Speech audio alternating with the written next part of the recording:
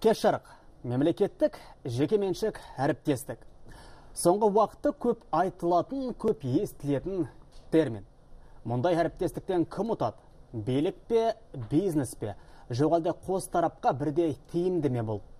Бүгін бұл сұрақтың жауабын мемлекеттік жекеменшік әріптестік орталығының аға сарапшысы әділ манатұлы сейдумановтан алуға тырысамыз. Әділ маратұлы манатұлы кешіріңіз. Қош келдіңіз. Рахмет саламатсыз ба әділ манатұлы енді алғашқы сұрағым мынадай. Жалпы осы мемлекеттік жекеменшік әріптестік дегеніміз не? Міне осындай заң жобасы қабылданды ғой өткен жылдың соңында. Ол осы құжаттан ә, осы құжат жалпы бюджетке жүктемені азайтуға қаншалықты әсер етеді? Осы сауалдан бастасаңыз жалпы. Жарайды. Енді біріншіден айтатынмын мемлекеттік жекеменшік әріптестік яғни мжа дегеніміз орысша терминді гчп дейміз. Сондықтан мен гчп деп айтсам бола ма? Өйткені ол ә, біздің елге танымал гчп деген термин. Енді былай айтатын болсақ ә, гчп ә, ол ә, мемлекет және жеке әріптес екеуі біріктіріп өз ресурстарын әлеуметтік экономикалық мақсаттарды іске асыру үшін ә, әзірленген ә, механизм. Менің ойымша бұл мех- механизм бюджетке қаржы, қаржылық жүктемені азайтатыны өйткені қазір жасыратыны жоқ дағдарыс кездерде гчп механизмі ең тиімді ең ыңғайлы. Неге деп сұрасаңыз ол біріншіден ол мысалы жеке кәсіпкер өз қаржысына объект салады. Яғни салып болған соң эксплуатация басталған кезде ә, мемлекет ә, жеке кәсіпкердің ә, инвестиция шығындарын өтейді. Жылға бөліп ол гчп шартына сәйкес. Өйткені әр гчп шарт ол Әртүрлі. әртүрлі болып есептеледі сонда ә, түсінікті болу үшін мәселен мен жеке кәсіпкер ә, бір жобаны алдым мәселен ә, тас жолын салу керек дейік осы тас жолы алдым бұл шығын менен кеткен шығындардың жартысын яғни қандай шығындарды жартысын мемлекет өтей ме кейін иә ол ә, шарттың ә, түріне байланысты мысалы ең ә, танымал шарттың түрі ол мысалы жеке кәсіпкер өз ақшасына деп айтсақ өз қаржысына тас жолды салады сіз айтып отқандай. Ә, мысалы былай айтсақ ол жүз теңгеге салды. Ал мемлекет шарт бойынша он жылдың ішінде жыл сайын он теңгеден өтеп, өтеп отырады. Маған төлеп отыр төлеп отырады. Бірақ осы 10 жылдың ішінде енді кәсіпкер ақша табу керек қой дұрыс па? Сондықтан ә, тас жолдың бойында мысалы ә, мұнай заправка немесе кафе аша ма жаңағы мемлекет жер ә, аренда аре- ә, жалға береді ұзақ уақытқа. Сол жаңағы жеке кәсіпкерге де мемлекетке де өте тиімді. болып есептеледі. Өйткені мемлекеттік бюджеттен бір кезден 100 теңге шықпайды. Жаңағы жыл сайын 10 теңгеден мемлекеттік бюджет шыдайды. Сондықтан ол өте флексибл дейді ғой ағылшынша. Өте сондай механизм. Сонда мен жеке кәсіпкер ретінде мәселен былай айтса мемлекетке рассрочкаға беріп отырмын деген сөз ба иә сөйтіп айтуға да болады. Ал түсінікті бұл негізі билікке де тиімді болып тұр бизнеске де ұтымды болып тұр ғой. иә енді осы ә, әріптестік аясында қандай жобалар жүзеге асырды бас аяғы қанша жоба бар жоспарланған жүзеге асатын? Соның алғашқысы қайсысы?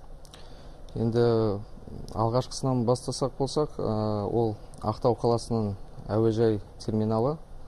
Ол 2005 жылы жүзеге асырылған. Ол өте жақсы жоба деп есептеледі.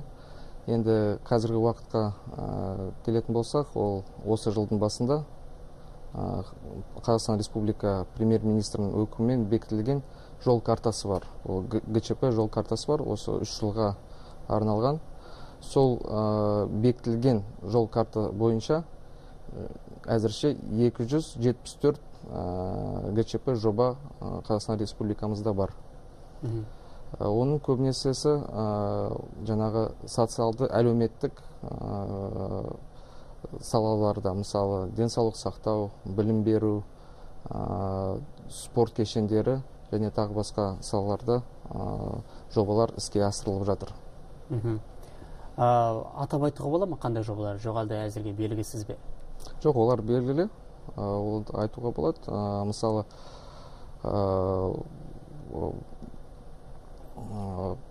қарағанды қаласында ол қарағанды медикалық университетінің клиникасы ашылуда жоспарланып отыр. Жаңағы осы жобаны қазір осы әр гчп жобаның өзінің қадамдары болады. Былай айтсақ ол төрт қадамы бар. Бастауыш сосын құжаттарын дайындау. Ал енді қарағанды медикалық университеттің клиникасының жобасы қазір екінші қадамда деп айтуға болады. Енді былай айтсақ құдай қаласа дейміз ғой енді бір жылдың ішінде ол жүзеге асырылатын болады. Енді шығыс қазақстан облысын айтатын болсақ олар біздің өңірлердің арасында қолбасшы енді лидирующий регион дейміз орысша айтқанда. Олар жаңағы шығыс қазақстан облысының жергілікті мемлекеттік орган. Олар қазір оннан астам балабақша жаңағы гчп механизм арқылы жүзеге асырып жатыр. Тағы да айта кетсек ол үлкен ірі жобаларға айтатын болсақ ол алматы қаласында үлкен алматы айналым жолы. Ол тағы да инфрақұрылым жаңағы тас жолдар және тағы басқа. Түсінікті аха. Ал жалпы осы жобаларды ә, мемлекет өзі бекіте ме? Жоқ әлде ә, бизнес тарапынан да ұсыныс жасауға бола ма? Осындай жобаны жүзеге асыруға бола ма деп иә әрине болады өйткені осы жаңа заң 31 бірінші қазан өткен жылы қабылданған. Сол заңда жаңа жеке әріптестің өз инициатива деп айтуға болады. Сондай механизмі бар. Мысалы егер де жеке кәсіпкердің өз технологиясы өз интеллектуалдық құқығы бар болатын болса немесе өз эксклюзив жаңағы бір өнім шығаратын эксклюзиві бар болатын жағдайда ол мемлекеттік ә, жергілікті органға немесе мемлекеттік орталық органға өз ұсынысын көрсетеді. Ә, сол ұсынысын мемлекеттік орган міндетті түрде қабылдап өз веб сайтында ә, орналастырып жариялап және де масс медиа дейміз ғой бұқаралық ақпарат құралдарында иә ақпарат құралдарда жариялайды. Одан кейін егер де осы жоба күрделі емес деп есептелсе онда 30 күннің ішінде егер де басқа жеке кәсіпкер болмайтын болса онда мемлекеттік орган және ұсыныс берген жеке кәсіпкер олар тікелей келіссөздер өткізіп сосын шартқа қол қояды. Ал егер де тағы да бір жеке кәсіпкер табылып жатсашы мен де бұл жобаны жүзеге асыра аламын дегендей ондай жағдайда болады. Ондай жағдайда бұл конкурс ретінде бәсеке ретінде іске асырылады.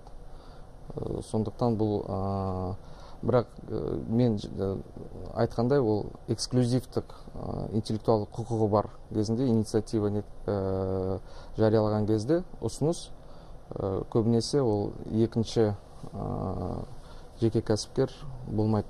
Сондықтан ол конкурста болмайды.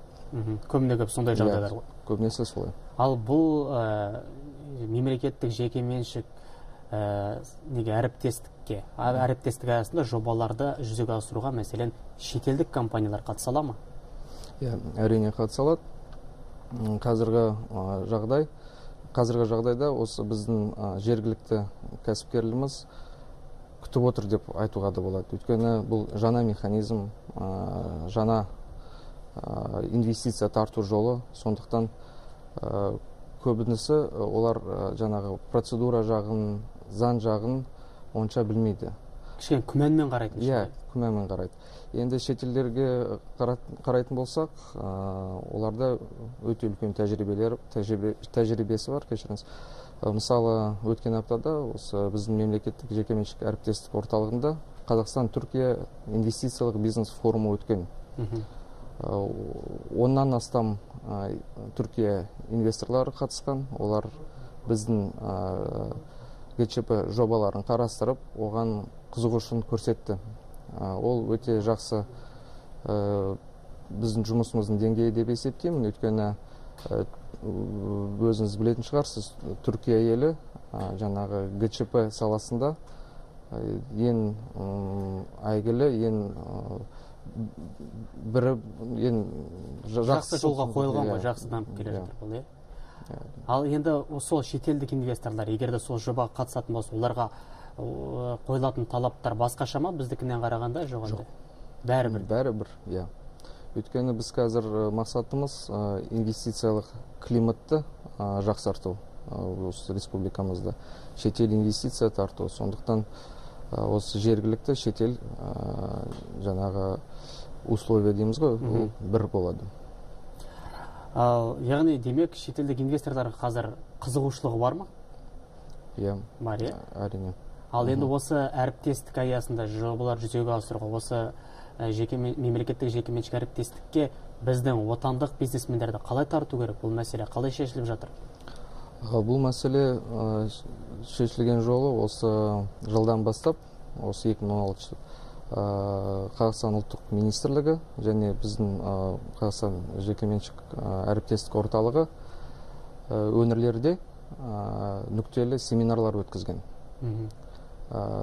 Нақты сұрақтарға жауап беріп қандай процедуралық қиын, қиындықтар болуы мүмкінін жаңағы жобаның жоспарлауын жобаның жобаға жобаның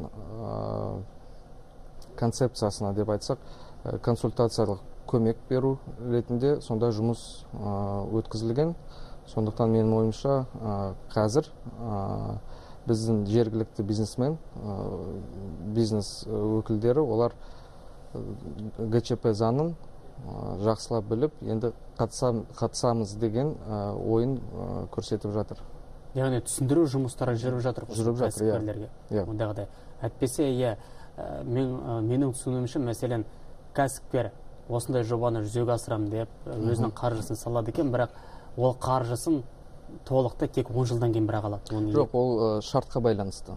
Үш жыл бол ә, заң бойынша үштен отыз жылға дейін ол ә, гчп ә, мех- механизмінің жаңағы түсінікті.